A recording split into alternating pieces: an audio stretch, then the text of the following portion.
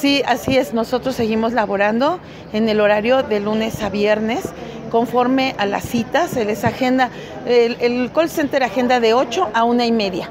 Esto nos da el rango para poderles atender en el horario que es de oficina marcada por la Secretaría de Relaciones Exteriores. Así es, los precios eh, están, son fijos, esto es por ley, está todo reglamentado, son publicados en el diario oficial, en el caso de, de la Secretaría, el pago de derechos federales tiene un aumento que es muy ligero siempre eh, a partir del primero de enero y de ahí no se vuelve a mover hasta que ese es vigente durante todo el año. Asimismo, para lo que es la aportación municipal, porque esto también está este, reglamentado por la ley de ingresos municipales, entonces todo está este, pues, en, el mismo orden de, de ideas.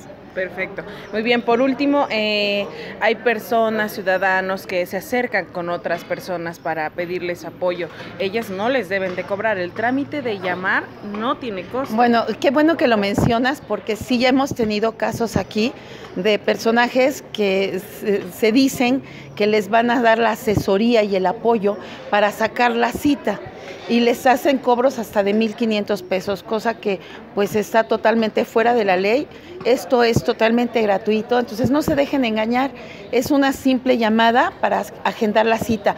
Si se les complica, acérquense a la oficina con nosotros, les apoyamos, les ayudamos a hacer su cita, generarla y es totalmente gratuito, no nos cuesta nada, es una llamada se necesita un correo electrónico, pero si tienen inconvenientes, vengan, nosotros les vamos a ayudar, pero no se dejen sorprender, esto nadie les debe de cobrar por agendar una cita, es una cuestión muy sencilla y es absolutamente gratuito.